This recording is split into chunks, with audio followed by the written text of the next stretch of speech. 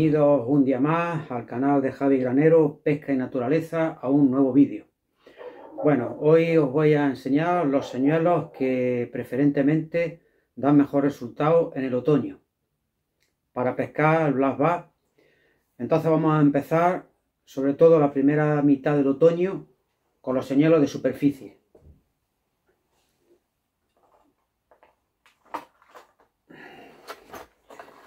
En la primera mitad del otoño, cuando las aguas todavía no se han enfriado mucho, los señuelos de superficie nos darán muy buen resultado, sobre todo a primera hora de la mañana. Podemos utilizar paseantes, como este tipo, por ejemplo, con sonajero.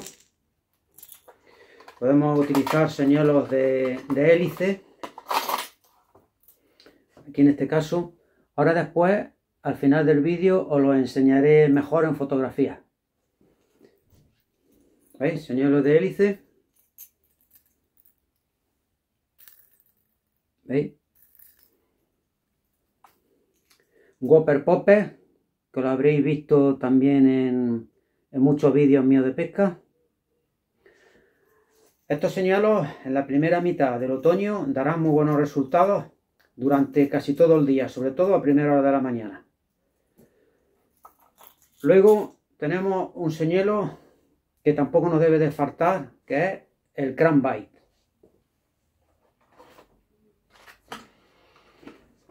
¿Veis?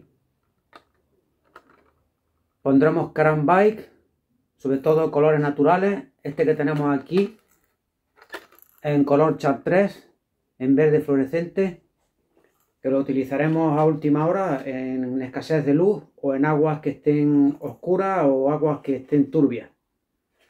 El crankbait es uno de los señuelos 10 para pescar el black bass en otoño.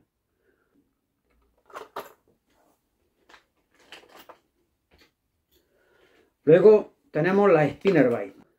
Es el que más suelo utilizar porque da muy buen resultado. Sobre todo en otoño, en otoño es mortífero el spinnerbait. Podemos utilizarlo este con pala en color plata o color oro, como en este caso. Los colores irán dependiendo del gusto de cada cual o del gusto del black bass. ¿eh? Eh, tenemos las palas de tipo olivo, ¿veis? De hoja de olivo.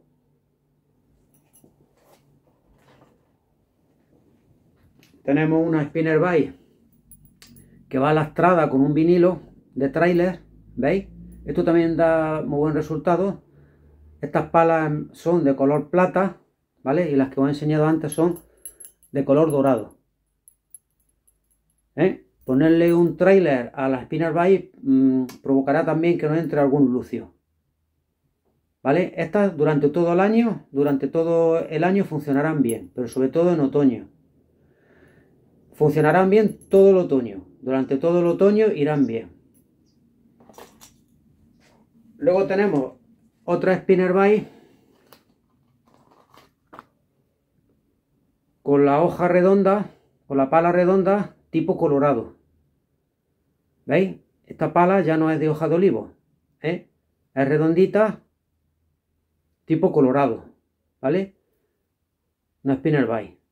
Hay de diferentes pesos, de diferentes tamaños. Vamos a pasar a los yerbait. Los yerbait rígidos nos irán perfectamente bien para, este, para esta época del año. ¿Veis? Aquí tenemos un rapala de la marca Rapala de unos 11 centímetros, aproximadamente 11 o 12 centímetros. Luego tenemos otro pez de otra marca con un babero un poquito más largo que nos alcanzará más profundidad. Este lleva una librea de trucha. Estos Herbait empezaremos a utilizarlos en el primer tramo de otoño si queremos suspendidos para que nos alcancen una profundidad que no sea muy amplia.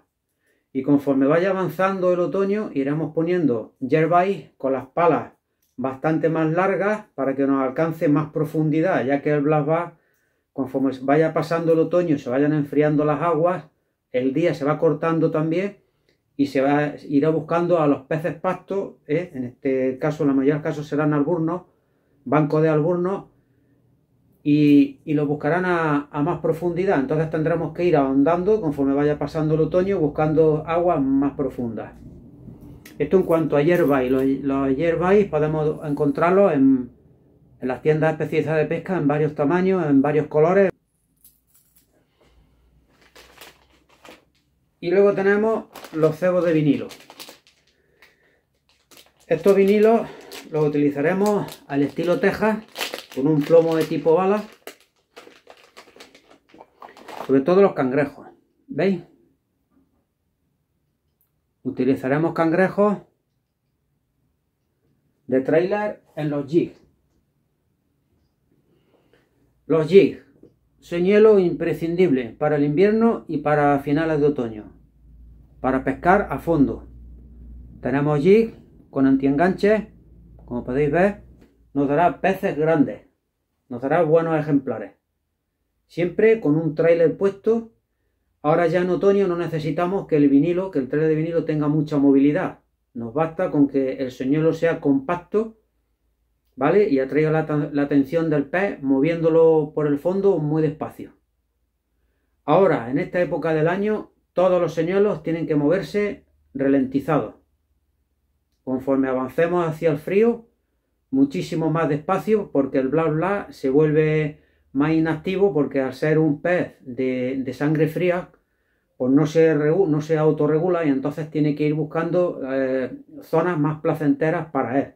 Entonces buscará zonas de piedras donde los días soleados, el calor que recibe la piedra, eh, las rocas, lo irradiarán dentro del agua y entonces esas zonas ganarán unos pocos grados y entonces encontraremos por ahí a los peces pastos y a los blasbas.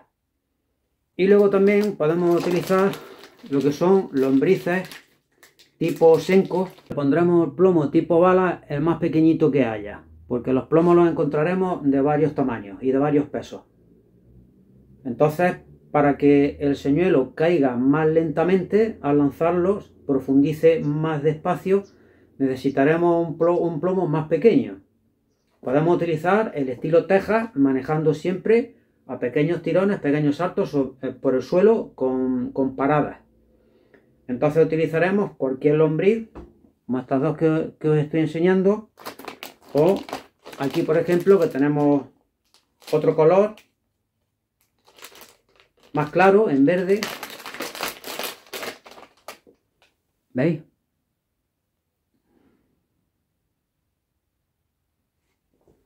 Las podremos utilizar hasta incluso si ponemos una línea más fina para llegar más lejos, porque al estar los peces más distanciados de la orilla, necesitaremos un, sedal, un fluorocarbón o el que nosotros no nos guste, algo más fino. Yo suelo utilizar para pescar en verano y en las zonas en que el barba está activo unas líneas de 0.28, 0.30.